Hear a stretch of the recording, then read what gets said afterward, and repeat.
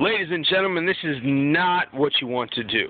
This is not what Tuesday night swim nights at the Valley Tennis and Swim Club is all about. This is this is just this is unacceptable. This is borderline deplorable.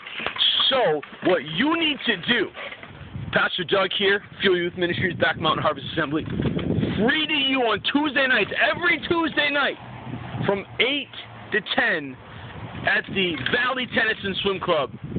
Not what you just saw. That's horrible. We've got a big pool, 10 feet deep, diving board, kiddie pool if you want to run around and make the whirlpool action.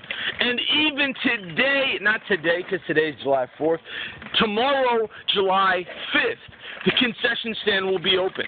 That means you don't even have to go anywhere to get food. We're going to have food right there. Entrance is free. Concession stand is normal realistic prices. So you need to bring your friends. If you are in 8th grade to 12th grade, bring your friends Tuesdays, 8 to 10, Tennis Valley and Swim Club. You need to be there because that's where everybody is. Because that's where the fun is. That's where the party is. Because this is not acceptable.